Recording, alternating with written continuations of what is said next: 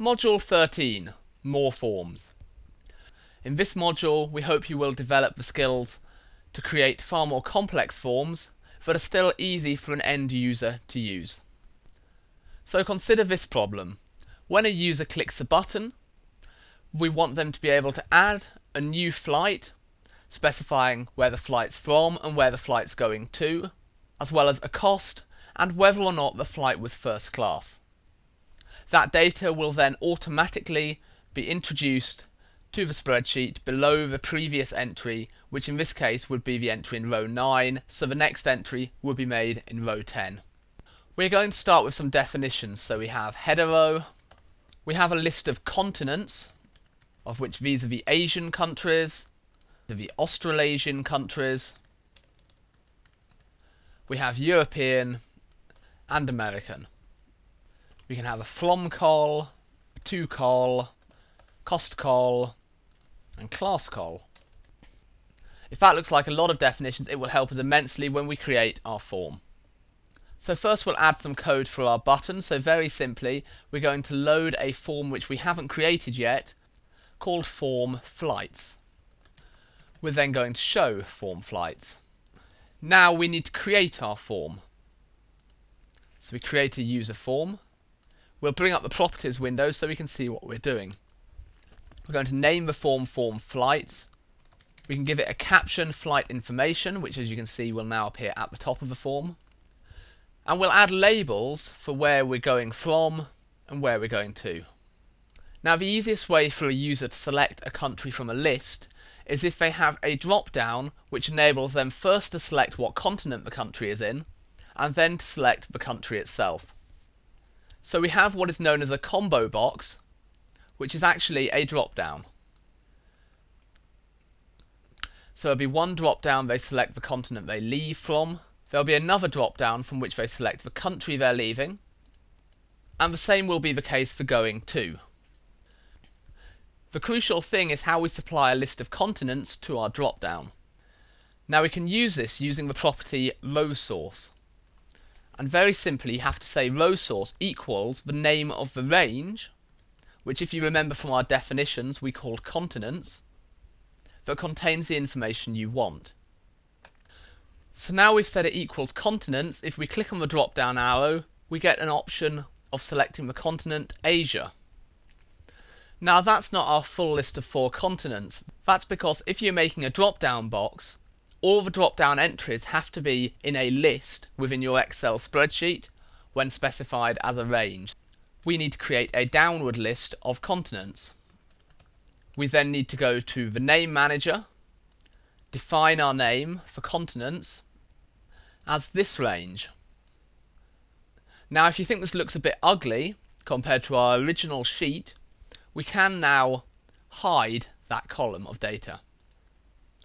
So now we've defined continents as a downward list, we can click on the drop down arrow and we can see we can choose our continent. Now we don't want to let users select any other value other than those in the list. If you look down the list of properties for the box, you can see we have match required equal to false. Since we want to match an entry to the list, we should say match required equals true. We should repeat those changes for our other box. So row source equals continents. We want to add a cost box, which we can do as before, just using a label and a text box.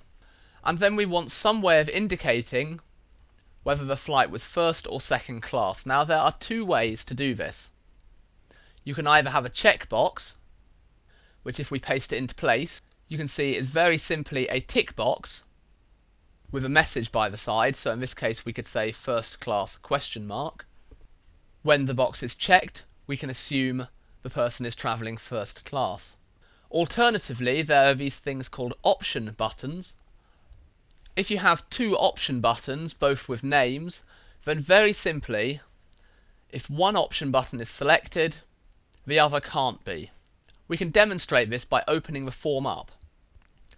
Here is our form we can tick first class and we can untick first class.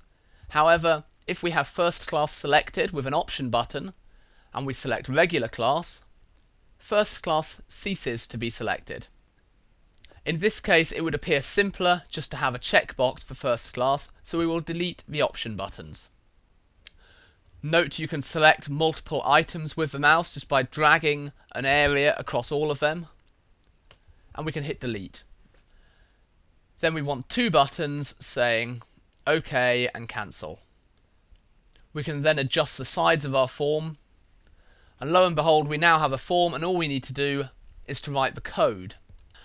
To facilitate writing the code, we should give all the components of a form sensible names. So we can have CBO, meaning a combo box, from cont, meaning the continent you're from, and we can have CBO from count, indicating the country something's from, CBO2 cont, and CBO2 count. Text cost, check first, and command cancel.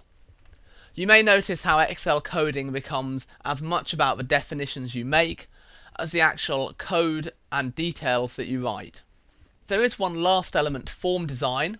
On our form at present, we can use the tab button on the keyboard to navigate from one box to the next. However, it doesn't go in the order that would be logical. Instead, it goes across the top, down, across, down, and then across again, then OK, cancel. Ideally, we would want the form to fill in here, here, here, and here in that order. This side of things is governed by a cell's tab index. Now very simply, the cell with the lowest tab index is treated first, the next lowest is next, so the tab index of your first cell should be 1, of your second cell should be 2, 3, 4, 5, 6, 7, 8 to the bottom. If somebody hits cancel on the form, the code should just say to hide the form. So me.hide. At this stage, we would normally write the code that applies if somebody presses OK. However, at the moment, the user cannot complete the form because there are no options for them once they've selected their continent. If we want to give people a list of countries based on the continent they select, then we need to write code that comes into effect when a selection is made in the first drop-down list so we can view code as through a command button. As you can see, the title indicates that when CBO from cont, that's our drop-down list, is changed, then this code will run.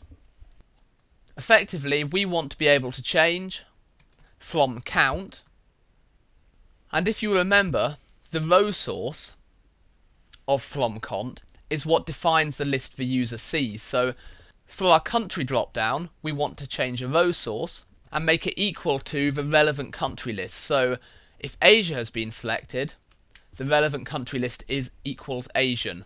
Note the parenthesis. That's because we're trying to simulate somebody typing equals Asian in this box. Of course, that's only the case if the selection in from cont equals Asia. Else the list could say Australian. I've taken the liberty of completing the list of course, we want very similar changes to be made once somebody makes a selection from the to cont box. So instead of rewriting all the code, we can copy and paste the entire subroutine and then do a find and replace for from with to. It's worth testing this feature before going any further. So we add new flight and say from Asia and then we have the option of leaving China or Japan. If we say from Europe, we can now leave France, Germany or the UK. But you notice that Japan has remained in place. Really the country should be blank at the point somebody has selected a new continent. By now you should be confident that you know the code to do that. Every time from cont changes, we want to make the country equal to blank. And we should mirror that code when somebody changes the continent they're going to. So now the user is capable of completing the form, we need to write the code when somebody clicks OK. First and foremost, we need to check that all boxes have been completed. So if me.textCost is blank, or me.cbo from count is blank, or me.cbo to count is blank, then there should be a message box saying all fields should be completed.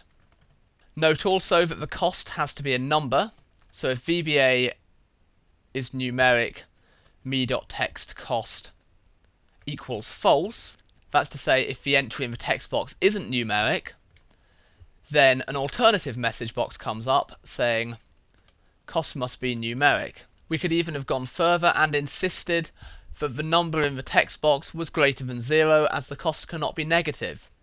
But if those conditions are met, then we want to enter the data from the form into our spreadsheet. So we defined header row beforehand.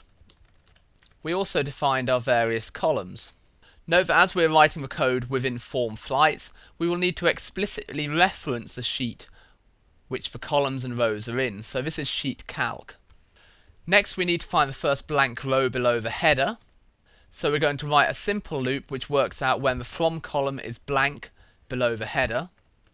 The first row we want to test has to be header row plus 1.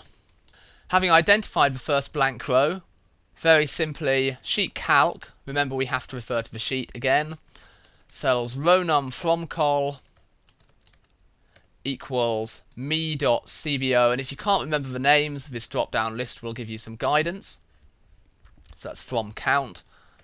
To col is identical except with 2 substituted for 4 cost col is equal to the text box in terms of whether something is first class or not we need a way of referring to whether a checkbox has been checked or not so we can say if me.check its name was first is true, then it's been checked. If we said false, that would mean if it had not been checked. Or if we leave it blank, the default assumed is true. So if the box has been checked, then sheet calc.cells row num class col equals yes, else it equals no. And then at the very end, we need to say hide the form now, your job's done. So without further ado, let's add a new flight. Let's go from Europe, from the UK to North America, and we see our box here isn't working. That means going back to our code, and you can see that when North America is selected, we've written this extra row source, which is unnecessary and inconsistent with the code above. You can also see we've written count instead of cont. So now if you've reselected North America, you can choose the USA and put in a cost of $4,000 and say that's first class. The data gets entered in the sheet fine. One thing we have neglected is that when the form opens, all of these options are already selected. Now we don't want that to be the case. So within the sheet code, we need to say form flights dot text cost is blank, the continent is blank, that's both for from and to, Note that when setting the text box, we have to say it's equal to false to say it hasn't got a value. Now we will get a blank form. Let's finish by introducing sheet protection, as we have in our forms to date. So that's pretty much it. We can carry on making entries like this. And at this stage we should be looking for enhancements to the code. Firstly, the costs which have come out do not have dollar signs, that's because we have not specified that the costs are actually values because they come from a text box. We would change that here. We also have an error message in D11. That's because we've said equals no when really we should have just said no. If we try adding our France-China flight again, there will be no such problems this time. So I'm just going to make one more change, which is to say if I select Australia from the list, then the only country I can select is Australia itself. Therefore, it would make sense for that to be entered by default. This is easily achieved by just setting the box equal to Australia in the relevant places. So when the continent is changed to Australia, both in the from box and the to box. Now the information is filled in automatically, which saves a little bit of time and convenience.